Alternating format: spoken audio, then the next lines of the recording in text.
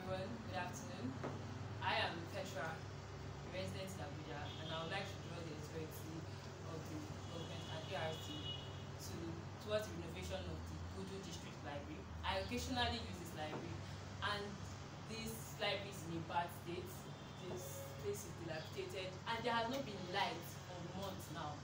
And the environment is scanty. People don't